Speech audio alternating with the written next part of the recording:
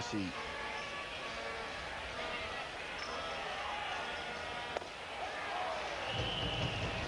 久留米商業の山田投手から3本のヒットを打った8番バッターとして私ども印象に残っています。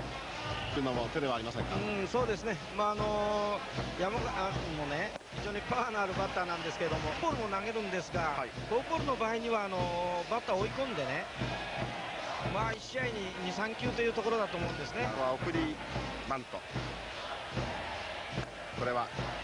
キャッチャー小林連続ヒットの大逆転も。この山川でその8本の連続ヒットが止まったそうです。三振。カーブはダメですね。見逃しの三振の後はショート前イレギュラーの内野安打。アウトコースいっぱい。大きくなります。山川はもう打つしかありません。絶好球を